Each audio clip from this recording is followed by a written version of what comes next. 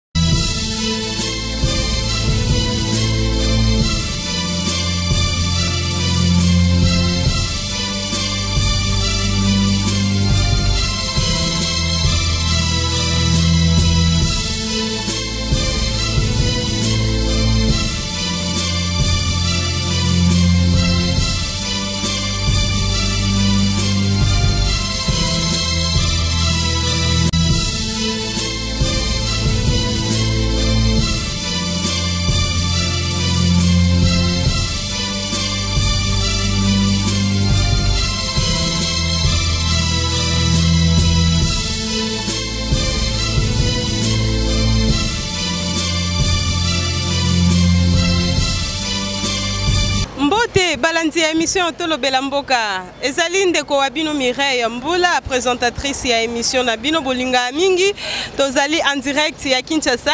et ezali nde na RDC parce que bato mosusu bazoloba Kinshasa Kinshasa eza nde Congo RDC fier de l'être euh, tozali kaka pona kosunga euh, mboka na biso ko informer bandeko na biso bazali ba ya diaspora Euh, baza na posa bayeba makambo nini ezoleka na mboka na biso alors aerotex tv etambwisaki micro na bango toujours euh, na bana mboka me tokolanda mwana mboka moko azali na ebele ya koloba me na nsima ya pib oyo Doesn't that Et salut, c'est Mireille Mboula et bienvenue dans Rich Boy Business. Je vous ai amené une solution à vos problèmes. Vous avez besoin de toutes marques de voitures. Chez Rich Boy, on en a. vous trouverez chez nous des voitures diesel,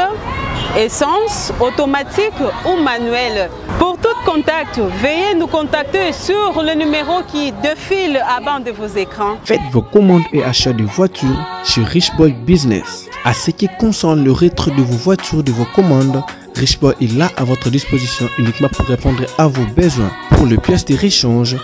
Boy Business a mis à votre disposition toutes les pièces de réchange pour vos voitures, pour vos commandes, pour toutes sortes de voitures que vous voudrez. PDG,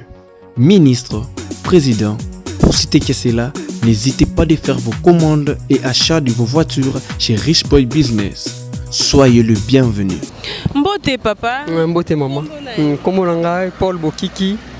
nazali euh, moko ya parlement, parlement de, parlementaire debout ya awa na station Total awa na échangeur ok euh, toyambi membre ya idps azali parlementaire ya échangeur alors euh, nini okoki koloba na peuple congolais ya diaspora bazolanda À ce qui concerne atterrissage ya mokonzi na biso ya mboka na Goma. Bon, atterrissage ya président de la République ezalaki penza atterrissage moko kafu kafu. Faut toloba na lingala. Donc ezalaki opesi mbwa mbwa boyi. Je pense que na bililingi bato nyonso bamonaki. Donc le président de la République, le chef de l'État, tango akitaki ezalaki na kei moko elongobanaki bato bandimaki président atake président de la république président na bango moko ntango aye kokita na goma na mabele na ye contestation moko ezalaki te président akiti mpe atambolaki makolo makolo makolo makolo ti na palais ya gouverneur bato bazalaki ebele mpe sekirite ya mokonzi ezalaki malamu très bien ti na suka koti na bamboka apesi population na ye mbote vraiment ezalaki akei moko ya malamu ifo bato ya idps biso moko fo totombola yango epesaki biso esengo mingi ezalaki akei moko en tout cas elengi parce que balobaki mingi ke président okita kuna te mais président akiti parce que osomona omona monde entier mokonzi moko mabele wana eza mabele na ye mpe moto ainterdire ye esalama esalama te malaksi bango akiti ntango akiti mpe langage echange bamonaki yango esengo makasi président aseki na elengi wana président azotambola epesaki biso esengo makasi parceke moko eza ya biso ntango apesi biso mokonzi oyo azali mwana mboka alakisi siko euh, bolingo na ye kati na mboka mpe alakisi ke azali compatriote combattant du peuple alakisi yango mpe akei malembe malembe mpe bino moko bomonaki donc ya pas commenté peut-être bandeko na biso mingi oyo ya ya de l'autre côté balobaki mingi tala boye tala boye tala boye me tolakisi bango un plus topate bango tolakisi bango ke mokonzi azali aime na population na ye botika bilobela ya pamba pamba bino moko bomoni yango implice toempate bino ok voilà oyo ngai nakoki koloba mpo na atterrissage ya président de la république donc esengo na yo ezalaki makasi kaka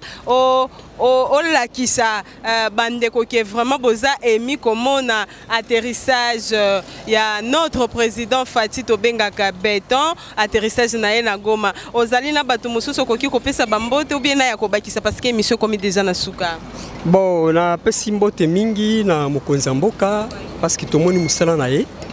napesi mbote mingi na mama denise ya kiru tomoni misala oyo azosala vraiment eza misala moko ya alingi population